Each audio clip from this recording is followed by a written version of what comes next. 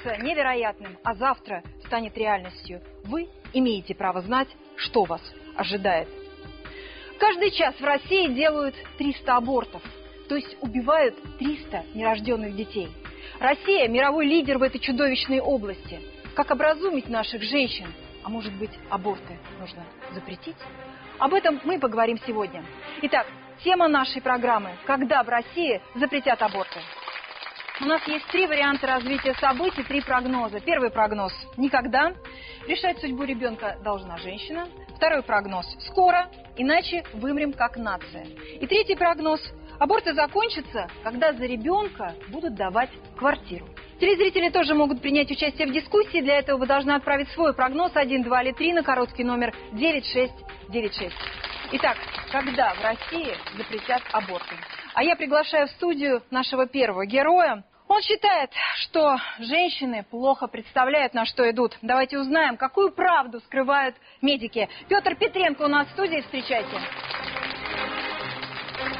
Петр, добрый день. Добрый день. Расскажите, пожалуйста, о своей трагедии, которая произошла год назад.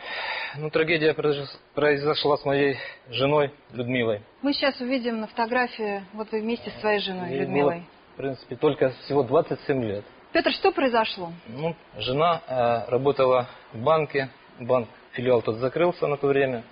Она без работы, и я на То пенсии. есть вы остались без работы. В принципе, да. И в этот момент ваша жена пришла и сказала, что она беременна. Да, беременна. Э, Решили мы как бы чуть-чуть это отложить эту беременность. И созвонились мы со знакомым своим врачом, гинекологом. Петр, вы не стали ее отговаривать, вы не хотели ее взять за руку и сказать, Ну, Людмила, остановись, давай Сначала родим». как бы отговаривал, но потом уже. И поехала она 25 числа, год назад, э, к этому врачу знакомому. И в 18.00 она села на эту, скажем, операцию, на аборт. И после сделанного укола, через 3-4 минуты Людми- Люда умерла прямо на, на кресле. Петр, этот врач понес наказание? Никакого. Возбуждено уголовное де- дело по факту. Почему вы решили об этом рассказать? О, Я хотел бы, чтобы женщины, девушки задумались прежде, чем пойти на любой аборт. Криминальный, он не криминальный. А мужья не должны задуматься, нет? Ну, Мужья, в принципе, тоже должны. Вот вы знаете, Галина, самый основной Да. вопрос, с которым приходят к психоаналитику люди, как найти какого-нибудь виноватого в том, что что-то случилось? Почему вы были на службе? Почему не вы довезли туда? Почему вы не сдали анализы? Почему вы не сдали пробу? Почему вы не забрали ее домой? Да, Ну, Наталья, о ну, чем вы как говорите? так может вот вы быть? знаете, я хочу Вот сказать, это даже не, в- может быть? Наталья, не в каждой виноват. второй семье. Вот практически в каждой семье возникает Почему такая ситуация. уголовных дел против мужей нет? А Речь о том, что аборт, да, он убивает. Специалист любой вам скажет, умирает женщин от женских болезней в странах, где легальные аборты гораздо больше. Вы понимаете, кто Чем мог подумать? Вроде есть- бы знакомый доктор. Они думали, что ему заплатят деньги. Все Самая будет нормально. проблема в том, что э, вот у нас те люди, которые э, призывают к легальности аборта, да, защищают право на аборт и так далее, это не друзья женщины, а главные ее враги. Мы первые в мире, в России, по количеству абортов. И не только по количеству абортов, но и по количеству смертей от этих абортов. Что это? Свобода выбора или свобода умереть? Мы вот, в отличие от некоторых демагогов, которые там обсуждают насчет э, убийства женщин, мы реально сотни женщин отговорили от абортов. И там, да. То есть я, я могу на эту тему рассуждать предметно. А рядом отец Максим, который 20 лет ведет эту А скажите, а как вы это делаете? Как, как можно Существует отговорить? телефон доверия. Естественно, мы делаем это без провокации. Опять-таки, вот э, демагогов приведу в пример. То есть мы не используем кровавые лозунги какие-то там, а расчлененку, трупы и прочий негатив, который только травмирует психику. А можно деликатно женщине объяснить не делать аборт, если у нее нет денег, если у нее нет мужа, если она вообще в депрессивном Мы состоянии? делаем все возможное не только для того, чтобы подговорить, но еще и э, материально ей помочь. И поверьте, люди выстраиваются в очередь. Вот сейчас э, можно делать аборт в день обращения. И есть такое предложение ввести двухнедельный мораторий для женщины. То есть две недели женщина должна думать. Вот ваш прогноз, я бы хотела услышать. Прогноз здесь даже не нужен. А, Рабочая группа, которая работает при нашем комитете, готовит три законопроекта, то есть подход комплексный. Только согласие э, супруга на аборт – это недостаточно. Только просто запрет или ограничение возможности проведения абортов до определенного срока беременности недостаточно. И применительно к тому э, вопросу, который вы задали, о двух неделях тишины. У нас Да. уже это сформулировано, это предложение. Две недели тишины с момента обращения, за исключением случаев, когда по медицинским показаниям для жизни и здоровья матери требуется срочное производство абортов, и в этом случае один день в любом случае должен быть дан. А, вот меня Всевышний наградил тем, что я пережила дважды материнство. Я не знаю, что такое аборт. Мне повезло. Но я видела в гинекологии, в гинекологии неоднократно, я думаю, многие женщины, кто пребывали в гинекологии, потому что в советское время туда же помещали женщин, которые э, только что была проведена операция аборта, делали это без наркоза в советское время, неоплачиваемое, и я просто видела этих женщин. Вот если бы можно было их показать, Вы видели женщин после аборта? Женщин после аборта, без наркоза. Это не просто белое лицо, серо-белое. Ввели Да. всегда под руки две санитарки или медсестры. Давали только вот Да. этот лед, как он там называется. Вот такую это самом деле много вещи. А вот Это такую экскурсию десятиклассникам не надо сделать? Вот просто привести их. Это этой разговор идет о советском На самом времени. деле, Да, то есть чем это здоровья Борисовна, женщин Много лет очень опасно. уже с тех времен, и производство абортов с каждым годом совершенствуется. Все для удобства клиента. Давайте посмотрим. Они работают без перерывов и выходных, и даже проводят акции, а постоянным клиентам – скидки. Здесь круглосуточно принимают заявки на умерщвление плода. Это онлайн-консультации для женщин. От нежелательной беременности предлагают избавиться щадящим способом – сделать медикаментозный аборт. Без хирургического вмешательства только таблетки. Ставшая легальной для использования в России таблетка западного производства убивает нерожденного младенца на сроке 5-7 недель путем блокирования поступления еды и кислорода, так что в итоге он умирает от голода или задыхается. Прообразом этой пилюли является небезызвестный циклон Б, смертоносный состав, применявшийся гитлеровскими нацистами в лагерях смерти. Несмотря на повсеместную рекламу, что использование этого средства является безопасной и эффективной альтернативой хирургическому аборту, совсем другая картина вырисовывается из реальных результатов клинических испытаний и использования в других странах. Никто не может гарантировать, что жизнь даже самой здоровой женщины не окончится летальным исходом в результате приема этого препарата. Кроме физических рисков и осложнений метода аборта в таблетках, препарат представляет страшное психологическое испытание для женщин, которым приходится жить с мертвым плодом целую неделю, если они применяют этот способ. Вот на самом деле, вы видели эти объявления в газетах быстро и безопасно? Вот такое ощущение, что как будто это пойти маникюр сделать. Насколько безопасно? Это самый безопасный метод, который существует на сегодняшний день из всех, который, э, как- посредством которого можно прервать беременность. Минимальное количество осложнений из того, Но это что делается только в стационаре под э, надзором врача, правильно? Это делается не в стационаре. не в стационаре. Не в То есть стационаре. ты употребляешь таблетку и ходишь и домой. в течение там, трех часов находишься в условиях клиники, потом идешь домой, через э, там, энный промежуток времени, там, через 30 36-48 часов приходишь, тебе дают второй препарат, и после этого наблюдаешь там э, в течение недели. То есть получается, вот опять, о какой свободе выбора мы говорим? Женщинам врут нагло, быстро и безопасно. Ребят, то, что вы показываете сейчас, понимаете, это тоже популизм в определенной степени. Потому что, во-первых, я не люблю вот это вот демонстрирование вот этих кровавых остатков, когда... А почему э, правду не? Секундочку, давайте я скажу, и потом вы выскажете свое мнение. пожалуйста. Я просто э, хочу сказать, что не надо играть на эмоциональных чувствах людей. Дайте, предоставьте эту возможность э, э, разбираться с этими законопроектами, А как с этим? с Как этим профессионалам, А те люди, которые как имеют к этому отношение. которая принимает Это решение? вопрос государственной важности. Вот что ей делать, если у нее уже есть абсолютный диагноз, поставленный, допустим, на третьей неделе о том, что ребенок будет инвалидом? Да.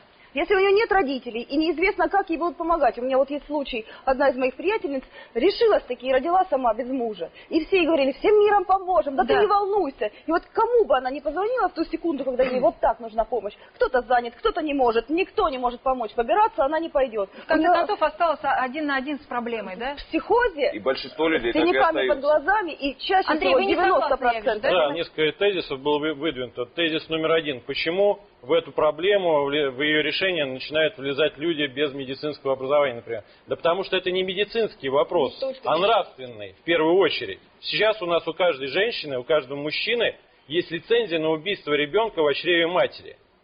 У нас Это недав- лицензия не- оговорена законодательно. Да, вот как на- именно, на вот уровне, именно, вот именно прав вот эту лицензию человека, мы должны так и на уровне э, э, уничтожить. международных Следующий, следующий тезис. Что делать э, с- э, в том случае, если ребенок э, будет известно, что у него будет хроническое Дополненная заболевание инфекция, или что-то 100%, такое, да? да. Сто процентов. Давайте мы уничтожим всех инвалидов. Девушки молодые считают, что проще сделать аборт, нежели предохраняться. Вот кто виноват в этой безграмотности? Учителя, церковь, родители, кто? Давайте не будем забывать, Только что вот эта да, доступность к производству аборта, навязывание, просто агрессивная реклама, Быстро и вплоть до того, безопасно. что в школах на доске объявлений вы можете найти объявление о ближайшем месте, где можно сделать аборт. Про что мы говорим? Если мы хотим решить проблему абортов, если мы хотим решить проблему сирот, если мы хотим решить проблему внебрачных детей, в демографии, вкладывать надо не в медицинские учреждения или еще что-то. Это профессиональные вещи, их надо Нет, я не вкладывать сказал, что надо а в вкладывать в медицинские А учреждения. мы Я уже были в нашей стране под запретом. К чему это привело? Давайте посмотрим. В июне 1936 года в СССР было принято постановление, запретившее аборты. Лагерный срок светил не только врачу, сделавшему нелегальную операцию. Преступницей становилась женщина, решившаяся на такой шаг. В первый год после запрета рождаемость повысилась. К примеру, в 1937 году в Москве родилось в два раза больше детей, чем в 1935. Но затем начались негативные последствия. Сформировался черный рынок подпольных абортов грязными спицами у сомнительных бабок. Их клиентки нередко погибали от сепсиса и потери крови. К тому же женщины стали делать себе аборты сами. Это привело к рождению детей-уродов. Ведь дамы травили нежелательный плод хинином и другими ядовитыми средствами. И еще резко возросло число детоубийств. Малышей до года убивали в два раза чаще, чем раньше. Очень скоро стало понятно, запрет на аборты не привел к ожидаемым результатам. После окончания войны население страны начало расти. В ноябре 1955 года запрет на аборты и уголовное преследование за них в СССР отменили. Зачем мы все время в самку России возвращаемся и к сталинскому? Мы все время боремся со следствием. Ведь вы понимаете, что первопричиной, опять-таки, является не сама беременность и не факт ее пер- первопричиной, является наличие а, отсутствия, вернее, адекватных эм, социальных условий, вероятно, у кого-то. У кого-то финансовых аспектов, у кого-то еще. Но какие-то предпосылки, которые требуется урегулировать на государственном уровне и создать определенную такую подушку безопасности, чтобы у женщины, у женщины был компонент защищенности Елена на случай, если она решит родить. подушку безопасности? Конечно. Вы знаете, за, счет, за чей счет сегодня делают женщины аборты? А, например, в девятом году их было миллион двести тридцать одна тысяча, в прошлом году не меньше миллион сто тысяч. За счет работающих людей. 3 миллиарда 140 миллионов рублей было истрачено заработанных вами денег на производство, на бесплатное производство аборта женщины. Да. Вот смотрите, 3 миллиарда э, 140 миллионов, пожалуйста, можно высвободить, если будет аборт производиться не за счет фонда социального страхования, не за счет работающих граждан. Пусть платят, кроме медицинских показаний и результат изнасилования. Мы предлагаем ввести пособие по беременности для женщин одиноких, малообеспеченных, то есть там, где действительно именно ситуация, где без работы остались муж или она, или оба. Вот э, если мы вот такая программа прогноза, да, в первую очередь мы должны определиться для нашей страны, для нашего общества, для нашего государства. Что мы выбираем? Мы выбираем легальность убийства или мы выбираем отказ от легальности убийства? вот Что это мы самый выбираем? главный вопрос. Естественно, я выбираю, конечно, отказ от легальности убийства. Она не сделала аборт, но жалеет об этом. Почему? Узнаем сразу после рекламы.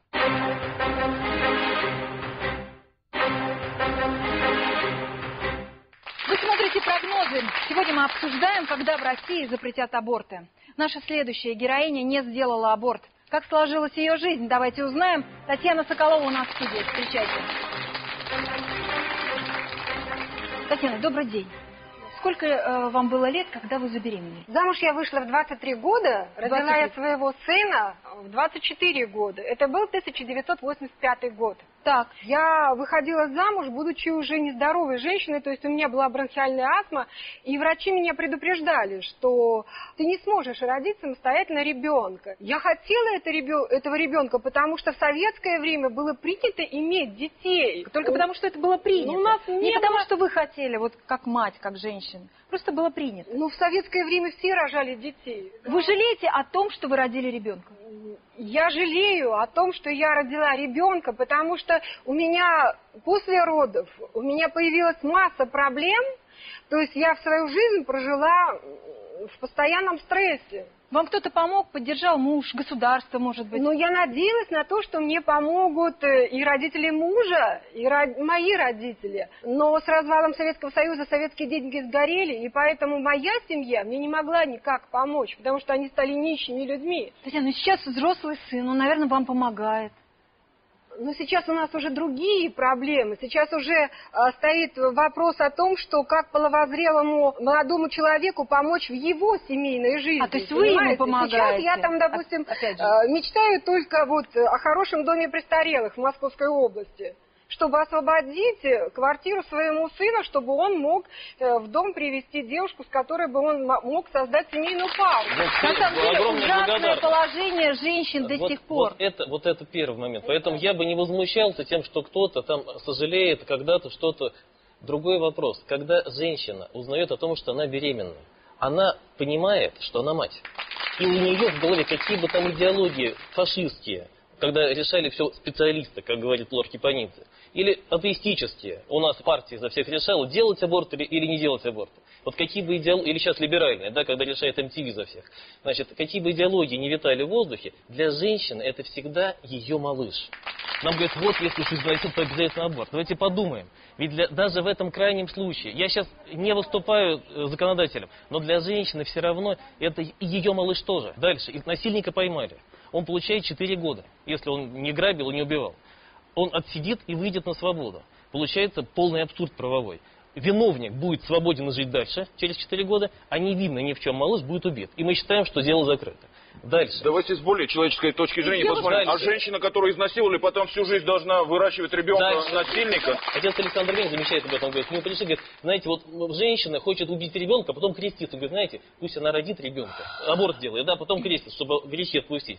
Ну, пусть малыша родит и своими руками его убьет. Одна из наших партий предложила каждой женщине за отказ от аборта давать по 100 тысяч рублей. Скажите, к чему может привести эта мера? Это не изменит ситуации. Кроме того, эта партия предложила не просто отказ, а чтобы при, после рождения ребенка он был помещен в детский дом. Поэтому давайте называть так, как она предложила. Так. Ничего это не даст. А вот ситуация, где беременная женщина, прежде чем принять решение о том, чтобы сделать аборт, вот эти две недели тишины, две недели обязательная консультация у психолога, обязательно. Дать ей возможность прослушать, Да, да, прослушать сердцебиение ребенка. В Латвии только одну эту меру ввели, у них сократилось, в разы сократилось число желающих Борисовна, а аборт. квартиру Это нужно давать обязательно. А квартира к сожалению, будут бежать э, за не Прогнозы мы прогнозируем. Поймите, Может только быть, это произойдет. только за квартирой опять сиротство. Поэтому очень важно квартиру надо давать там, где брак зарегистрировали. У нас в зале еще одна героиня, она тоже была перед выбором, оставить ребенка или нет. Давайте спросим, что она выбрала. Ну, я тоже когда-то в молодости сделала аборт, и потом, когда я уже немного повзрослев, когда мне захотелось ребенка, когда я смотрела на своих ровесниц, у которых уже были дети, я им очень завидовала, я долго не могла забеременеть и уже встретила человека, с которым мы хотели ребенка. Вы хотели бы поменяться местами с Татьяной Соколовой, которой Нет. ребенку уже 25 лет? Ну, может, и хотела бы. Я как бы жалею, что я тогда сделала аборт, но хотя я очень долго лечилась, я все-таки смогла, ну, поздно, конечно, но вообще-то детей, я думаю, никогда не поздно рожать. Я родила, конечно, у меня сейчас есть дочь, я ее очень люблю, но я жалею, что в то время я тоже сделала аборт. У меня бы сейчас мог быть ребенок лет 19, уже большой бы, учился бы в институте. Просто женщин нужно защитить от этого, грубо говоря, вот этого преступного и убийственного выбора. Как защитить? Вы предлагаете какие-нибудь механизмы? Вы я говорите вот предлагаю, я красивые предлагаю слова, которые... запретить, я предлагаю запретить убийство, которое вы Не надо говорить пиарите. убийство. Давайте на нормальном Давайте цивилизованном языке Нет, разговаривать. Вы хотите, вы хотите аборты запретить? Я считаю, или что это нормальный цивилизованный язык. Почему процветают а, аборты на поздних сроках? Почему у нас есть еще до сих пор вот Только, эти подпольные клиники? закон. Закон, основой об охране здоровья, разрешает по социальным показаниям, куда относится в том числе судимость родителя. То, что он находится, один из родителей в местах лишения свободы. Давайте То посмотрим Ну, об этом сюжет. вы ограничиваете Да, права давайте, женщин. Посмотрим. К подпольному аборту прибегают в тех случаях, когда не хотят огласки, нет денег или в случае, когда врачи отказываются делать операцию из-за большого срока беременности. Найти врача-подпольщика задача несложная. Интернет пестрит рекламными объявлениями. Аборт зачав, аборт анонимно, лжегинекологи грязных денег не боятся. А, здравствуйте, мне нужно сделать аборт, у меня 20 неделя. Хорошо, да, можно. Можно сделать, да? У вас в клинике, да, делают? Э, Да, у нас в клинике, да. Ага, и на этой неделе можно будет сделать? Э, Да, на этой неделе можно. Я могу вас записать на какое вам число. Ага, а сколько это будет стоить? Ну, вообще, это большой срок довольно-таки. Ну, 15 тысяч, так, э, больше. Препараты и инструменты подпольщиков далеко не безопасны. Криминальный аборт может привести к самым печальным и непоправимым последствиям. Максимум, что грозит криминальному гинекологу, это два года исправительных работ. Я вам могу сказать, в Америке... тысяч всего, да? Вы знаете, это на самом деле, вот я сразу скажу, это не вопрос денег и прочее. Никто да. вам не это даже не в рамках этой передачи. Этим должны заниматься определенные подразделения структур если- МВД. Нет, дело не в этом. Это категорически, это криминал, и это должно выявляться так же, как у нас ловят взяточников, я не знаю, там на местах, кто что превышает свои полномочия Меры, и о так которой далее. не говорил патриарх, но которые мы считаем, наш, э, наша комиссия по биомедетике необходимой, введение уголовной ответственности врача за производство аборта на поздних сроках. Уголовной ответственности. Когда в России запретят аборты? Свое мнение высказали самые разные люди. Эти прогнозы сразу после рекламы.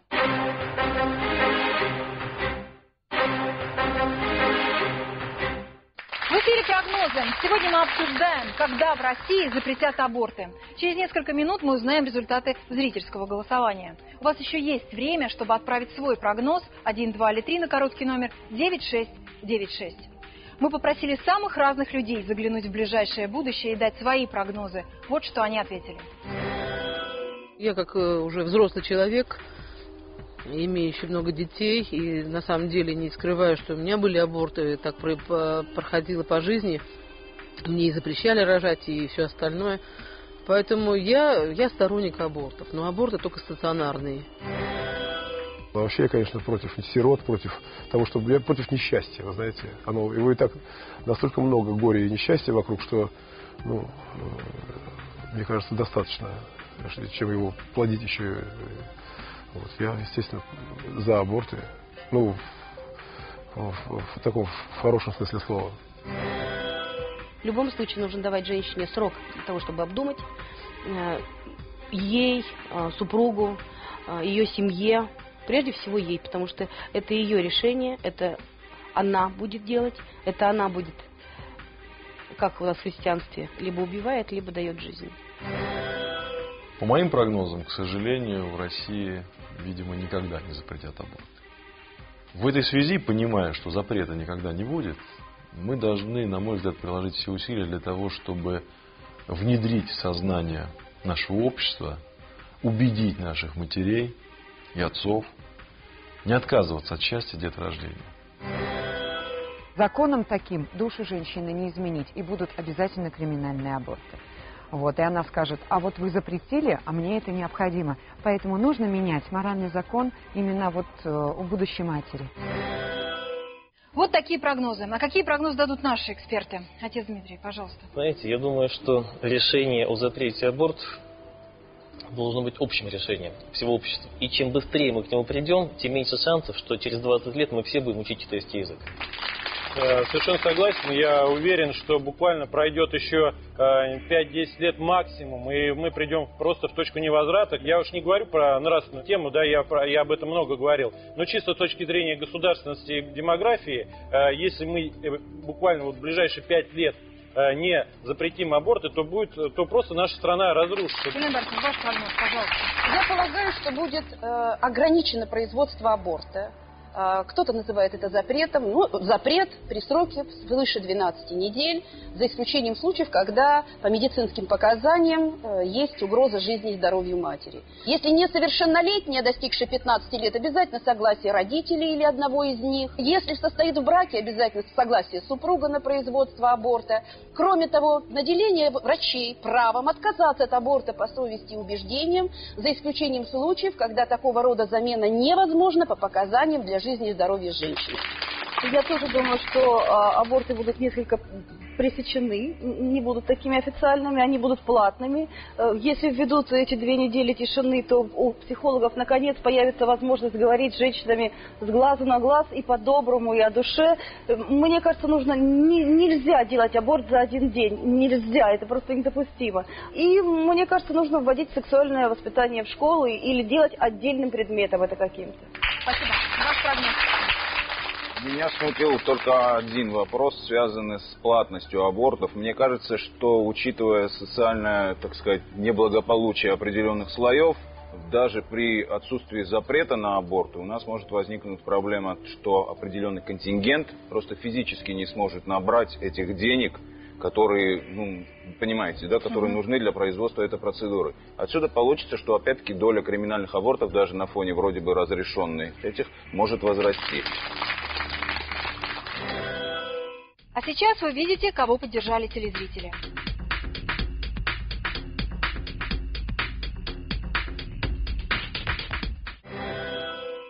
На самом деле, пока шла наша программа, в России было сделано 150 абортов. Когда остановится этот жуткий конвейер, делайте свои прогнозы. Ведь у прогнозов есть одно важное свойство. Они иногда сбываются.